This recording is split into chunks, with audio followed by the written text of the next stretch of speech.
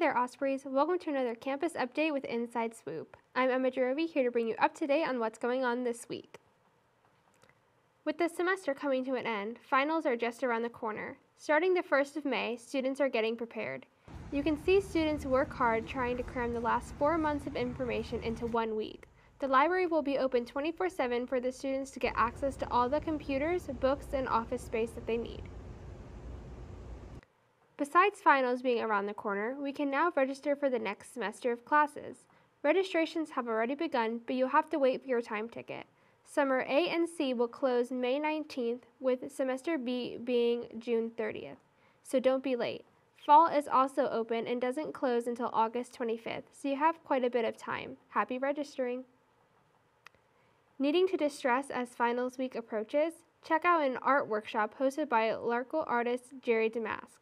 Jerry Damask is a retired veteran, painter, and sculptor who has advanced knowledge of the arts. The workshop promises to be an exciting assortment of collages, mixed medias, and more. It will be held on Tuesday, April 25th from 2 to 4 p.m. in Founders Hall. Seats are limited to 15 students, so go online and reserve your spot today. Looking for another way to distress this finals week?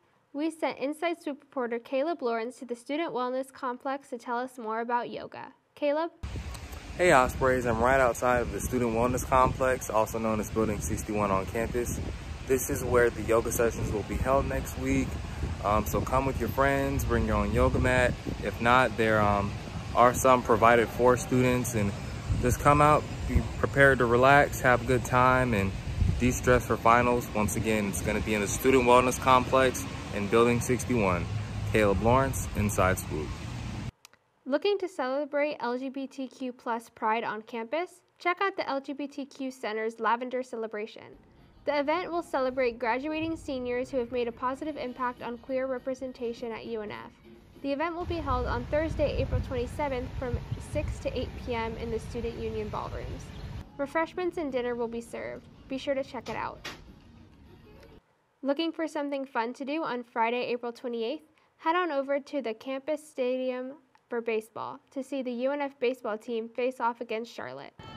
Located behind the UNF Student Wellness Complex, the UNF Baseball Stadium is very large and features seats for you and your friends to watch the game comfortably.